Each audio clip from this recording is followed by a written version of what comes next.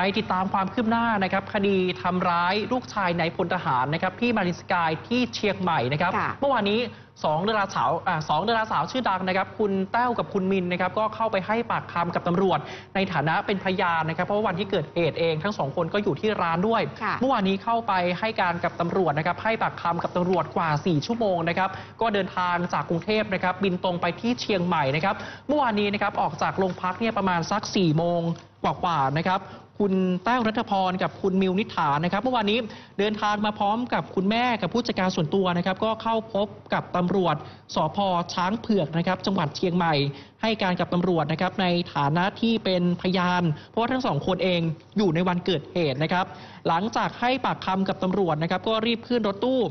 กลับทันทีไม่ให้สัมภาษณ์กับผู้สื่อข่าวนะครับ ก็ขอขอบคุณสื่อมวลชน บอกสั้นๆว่าที่ผ่านมาก็เคยให้สัมภาษณ์ไปหมดแล้วนะครับ รีบไปที่สนามบินก็เดินทางกลับกรุงเทพทันทีนะครับ คือคดีนี้ตำรวจเองนะครับก็ออกหมายเรียกนะครับให้ ดาราที่อยู่ในที่เกิดเหตุวันนั้นไปรับประทานอาหาร 11 คนเข้ามาให้ปากคำนะครับ ล่าสุดเองมีดารา 4 คนที่เข้ามาให้ปากคำแล้ว มีคุณหมากปรินนะครับ มีคุณอุ้มลักษณาและล่าสุดเมื่อวานนี้สองท่านคือก็คือค่ะคุณแต้วแล้วก็คุณมิวนิษฐาครับค่ะก่อนหน้านี้ก็มีการเรียกตัวแฟนของคุณอุ้มนะคะ แล้วก็กาดที่ก่อเหตุทั้งหมดเนี่ยถูกออกหมายจับแล้ว แล้วเข้าทางเจ้าหน้าที่เนี่ยก็คือให้ประกันตัวแต่ก็คงจะมีการขยายผลต่อค่ะ